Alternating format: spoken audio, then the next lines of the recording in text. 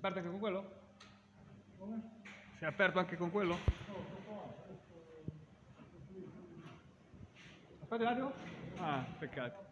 Volevo provarla, volevo farla inquadrare che è andata. Ma no, non è un problema. Ah, dobbiamo chiudere il motore, adesso lo chiudiamo. Questo qua così lungo deve stare, No, adesso lo accorciamo. Se viene un attimo fuori così non la inquadro. Okay.